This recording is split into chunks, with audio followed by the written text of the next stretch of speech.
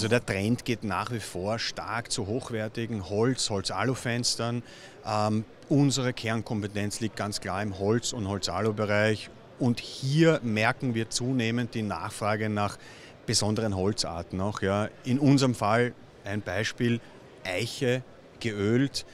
Ähm, schlanke Ansichten. Das ist für die Architektur, für die heutige Architektur immens wichtig geworden. Ja.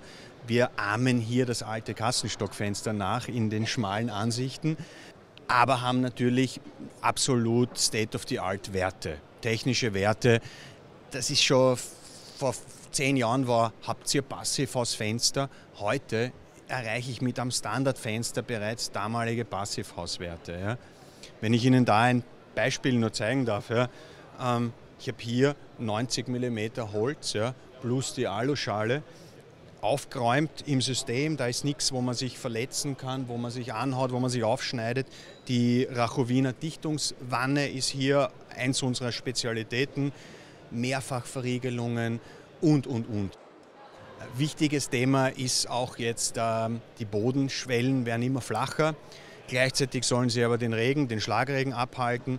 Hier haben wir auch neue Lösungen. Ja, wir sind gewappnet für 2018.